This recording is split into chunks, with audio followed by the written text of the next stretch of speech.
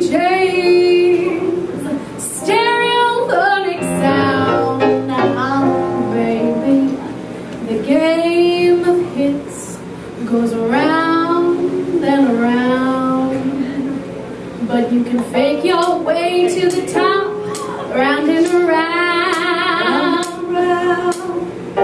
fake your way to the top, round and around.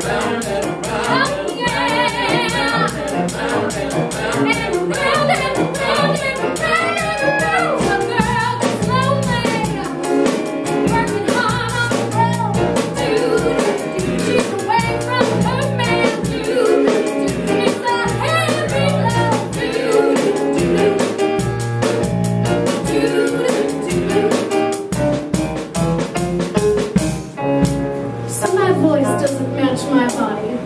Fine. So my body doesn't fit any type, whatever. So I can't really act.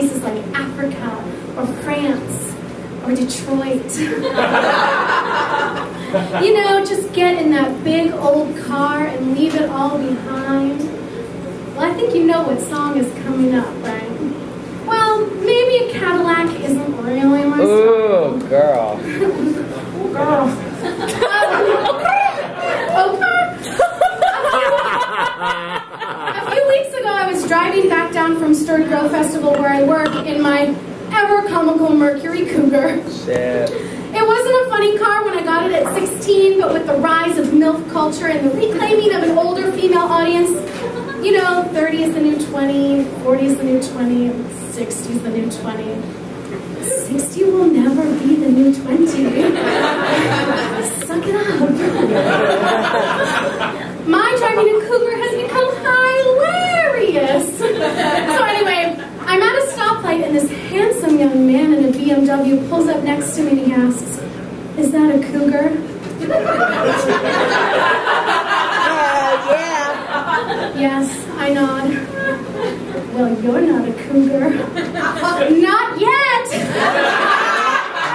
and I laugh, laugh, laugh. And thankfully, I avert my eyes and the light turns and I drive back down Portola, back to the Castro where their man I know how to deal with. Who knew a car could get a gal so much attention, though?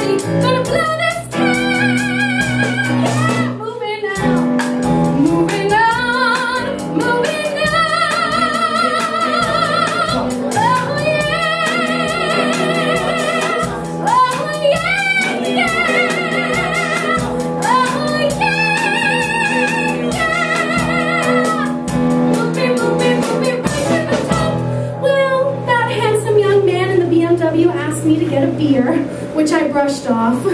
These situations don't happen to me very often, and why I don't know how to deal with them. Fuck that shit. But what would have happened if I took that left turn with the handsome young man in the BMW? What would have happened if it was just a little bad? Just once. Step into the band.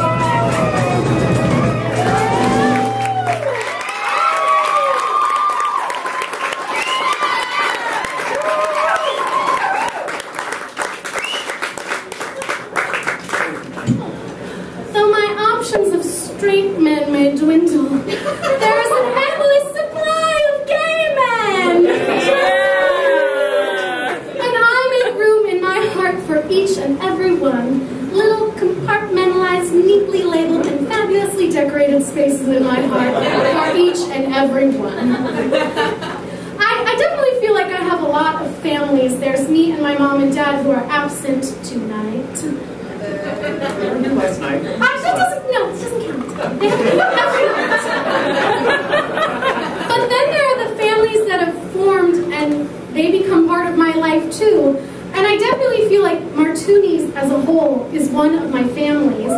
It is a community for people who don't have a community, and I feel very lucky to be a part of it.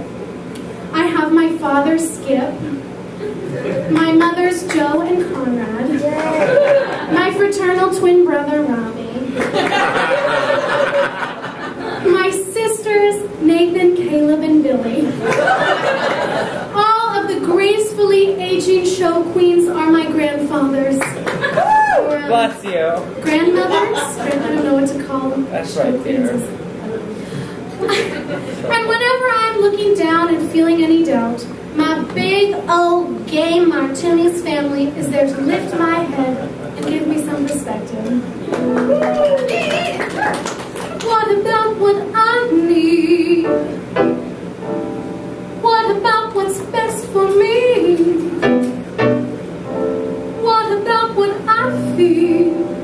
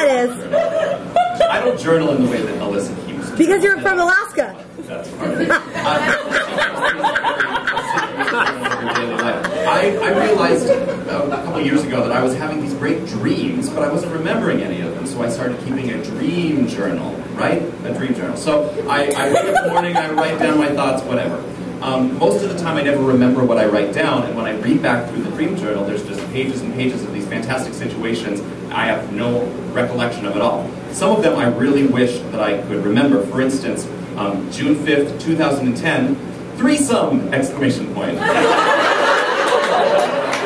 In a pool! Exclamation point. I have no recollection of it. I really wish I could. Other other pages, I, I, I'm really just pleased that I don't remember them at all. For instance, one that says December 2nd, 2009, I just can't. That's all it says. Anyway, one entry in particular concerns Alyssa, and she wanted me to share it with you. Here it is. August 30th, 2010. I'm working in a real estate office because in my dreams I work in a real estate office. Dream big, Robbie. Um, dream big. when I see Alyssa skateboarding down the street. Makes sense of pride. With my mother. All people in my dream to show up with Alyssa, obviously my mother. Uh, they come in and they want to get ice cream, so I start to leave. And they point out that we're in a real estate office slash ice cream parlor, so we can just go to the back. Uh, so I, I buy her some cookie dough ice cream, which she refuses to eat because she only eats froyo. So she throws it on the ground, it explodes, and then I wake up. What does that mean? I don't know what it means. Do your own analysis. Uh,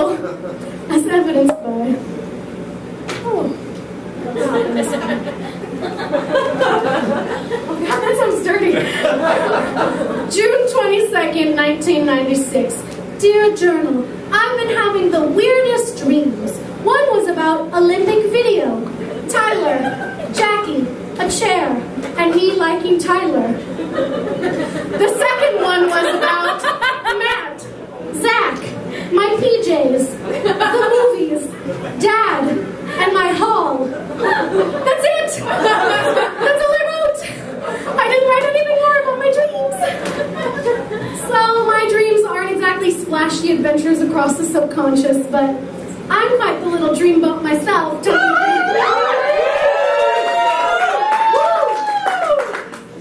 Throughout our fair city, I'm known as La Stone, as bestowed upon me by Lagays. A diva title that I take very, very seriously. Oh, they'll take and take, and I shall gladly oh give and give. But the affections of la gaze can be fleeting. One day you're the creme de la creme of the gay world, and the next you're just another fagless hag on the cold, hard streets of San Francisco. Thank you.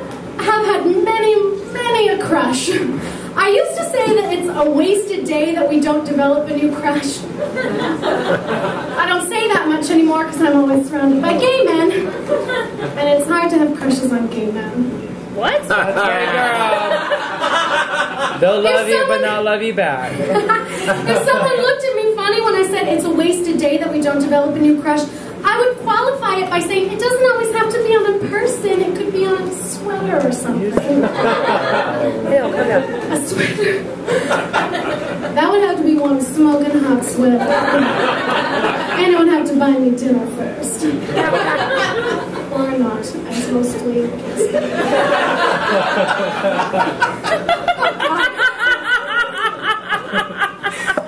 some of you know from my previous shows, I am an avid journaler. I wrote about many ridiculous and boring things.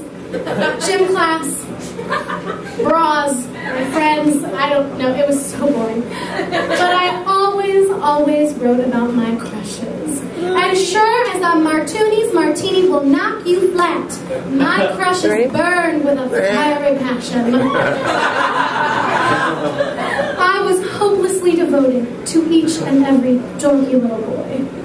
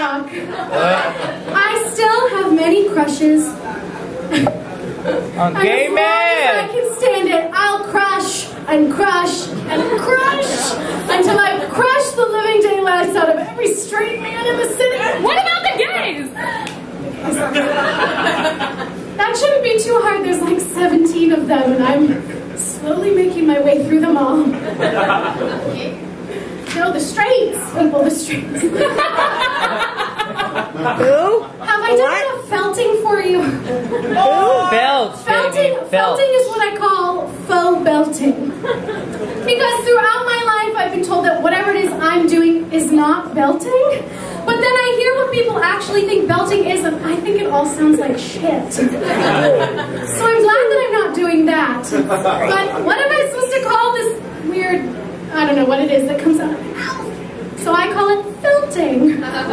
But there's only so much felting one can do right in a row. So I think it's time for a little sing along. So Doorman Nathan is going to come around and bring you some lyric sheets to some fabulous Supreme songs. He's also, gonna, he's also going to bring Nathan. He's also going to bring around this jar. Nathan, no, not that. Train him. That jar, I can't imagine what it's for, but do with it what you wish. So I'm sure some of you know this, but Dreamgirls Two is loosely copies. based on the story of the Share. Supremes, which is why we're doing a Supreme sing-along. The Supremes were the premier Motown group of the 1960s. Um, they were formed as the Primettes in Detroit in 1959, and the original members of the group included Florence Ballard, Mary Wilson, Betty McGlown, and of course, Diana Ross. Barbara Martin replaced McGlown in 1960, and the group signed with Motown in 1961 as the Supremes. The Supreme style included doo-wop, pop, jazz, Yeah, soul, yeah. Broadway show tunes, psychedelic soul, and disco. Yeah, disco. Um, they were a commercially successful, they were the most commercially successful band in Motown and are to date, with 12 number one hits, the Billboard Top 100's most successful. Um, Yeah. So we're gonna do a little Supreme. Yeah, let's go. The first Y'all have to really sing because know my, my by voce now. needs a break. Stop and Not Never really. My Love. voce is Set Me I'm Free. Steel. One. Uh, Baby Love. I Need Love. Yeah, right? I'm good. I'll put it here in case anyone needs any help. I find myself I Oh, do. okay. You hold it then, sweetheart. Has everyone got this one? Stop. You got it. Okay, just to warn you, we chopped up some of these songs so they're not exactly like what the Supremes did, but you'll you'll be able to follow. Five, six, seven, eight. Stop.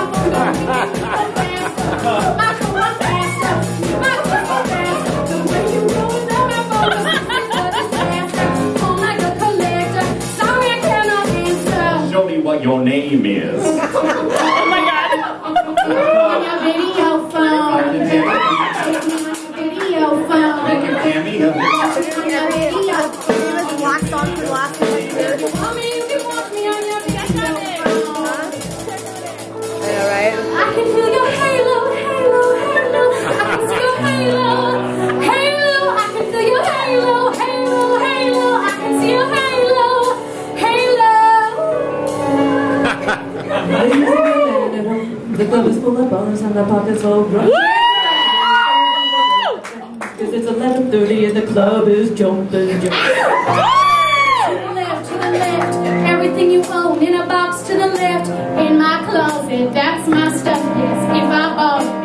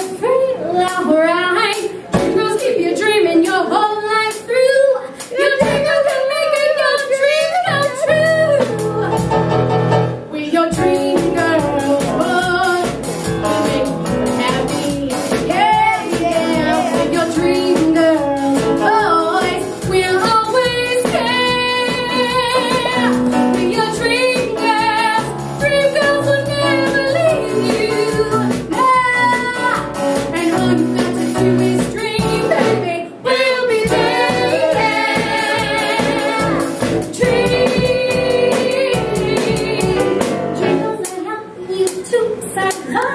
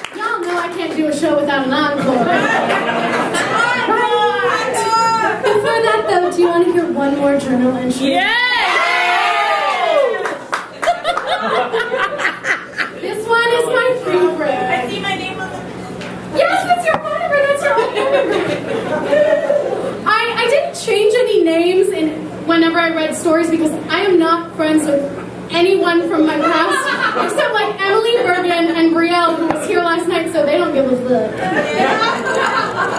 April 4th, 1996. Dear Journal, everybody was mad at everybody. It was pretty bad. The end. The end. The entire entry. That was it. You're doing it. I didn't What happened? What was? Just like this. Oh god. So we have a perfectly matched encore for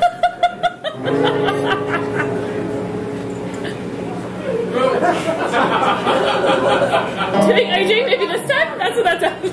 I'm not like the other girls in the show. I'm something of a sore thumb. I'm beginning to suspect I'm different. What's she today? And I suppose I know how come. My complexion stands out, and my voice does as well. Cause in case you haven't noticed, I'm black as hell. it's an obligatory part in every new musical. It's the random black girl singing the song.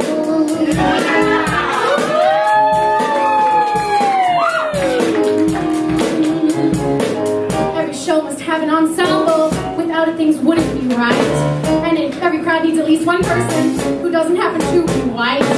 And that girl is usually me. It seems like I'm just filling a quota whenever I have lines that yes sir and yes sir and no sir.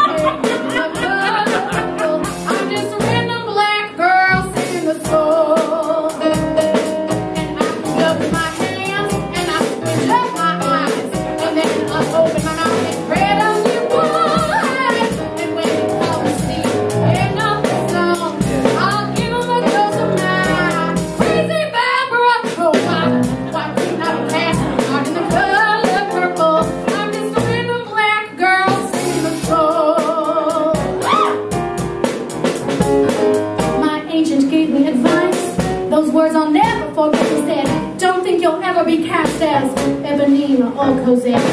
But I guess things could be worse when it comes to my Broadway station. At least I wasn't cursed enough to have been born